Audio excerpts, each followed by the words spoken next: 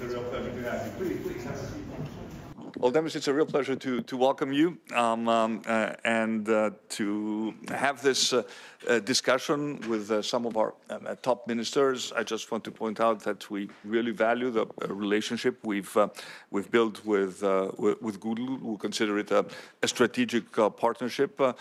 we have already delivered on various fronts, infrastructure, culture, education, but point of this discussion and the purpose of the discussion uh, is to leverage your um, um, sort of global knowledge of artificial intelligence uh, to identify new areas of cooperation, especially when it comes to um, the efficiency of, uh, of the government. This is uh, a topic that is very dear to my heart. We see um, a huge uh, potential um, uh, in, terms of um, uh, streamlining government services, improving the interaction between government and citizens. We have already incorporated AI tools in our main portal, um, and it's delivering very, very impressive um, results. And to also understand how you see the position of Greece in this new emerging AI landscape. As you know, we have a very you know, detailed strategy uh, regarding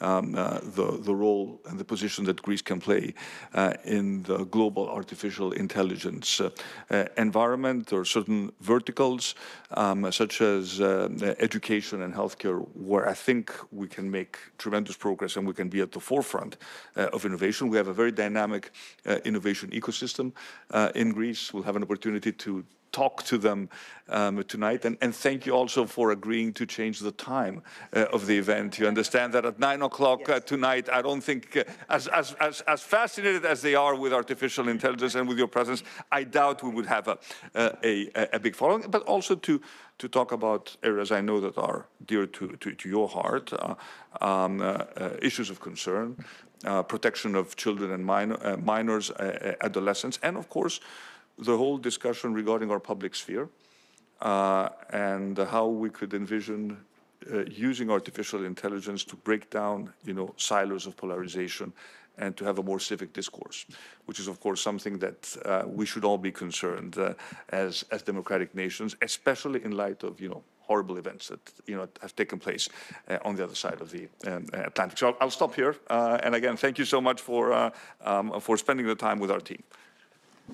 Well, thank you, Prime Minister. Thank you, uh, the Cabinet, for inviting us and my team here. And so exciting to be here in Athens and in Greece. And very proud of my Greek heritage from my father's side. And um, it influenced me a lot actually when I was growing up, and my father uh, kind of steeped me in Greek classical, uh, classical Greek tradition. So it's wonderful to be here, and it's a real honour also to talk later the, in in the Odeon and the theatre. I'm really looking forward to the meetings later. I think Greece has a really important part to play in um, under your your government, your leadership in terms of pro innovation and, uh, and and and leaning forwards into what can AI do to help society um, and, and government. And I think Greece has a really important part to play in, in pushing the EU forward um, or seeing collaboration with allies like the UK and the US um, in, in making sure we, we use AI in, in, in these beneficial ways and mitigate also uh, the obviously the challenges and risks that come with the technology. It's a dual use technology. I'm very excited. I'm very excited to see many science ministers here and people from the scientific community of AI um, improving and accelerating scientific, scientific discovery and human health um, but also looking forward to discussing how AI can help with government as well and government efficiency. So, um, you know, delighted to be here and really excited about all of the different meetings we have today. Thank you.